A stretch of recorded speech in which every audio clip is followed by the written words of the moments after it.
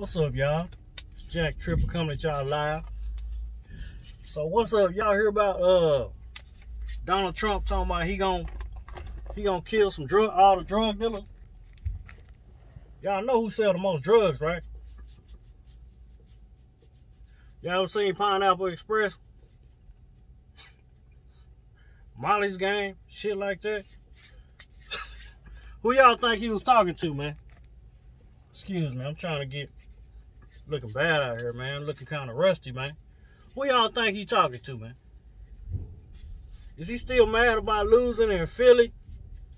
Losing in uh, uh losing in Georgia with them mail-in ballots? Is he still mad? Been telling y'all for two years, man. He don't let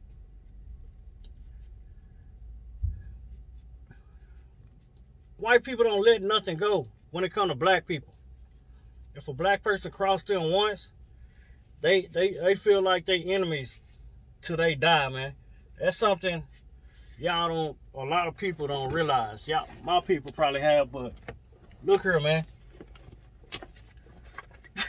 I didn't hear nobody I didn't hear nobody on the news man, put two and two together. And I'm just like, see, that's why I gotta I'm finna come up my tips about white supremacy, man. I don't know what I'm gonna name it, but it's gonna be the, everything I do from now.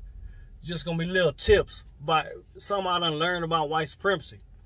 You can take it or leave it, but I'm telling you what I know. I ain't doing it to be racist or hateful to nobody, but I'm gonna tell you, it's rules to this stuff here, man. It's rules to it. So when he talking about killing drug dealers, he's like, that's to me, that's that Reagan stuff. You know what I'm saying? That's that Reagan shite, man. Anyway, peace, Pan Africanism.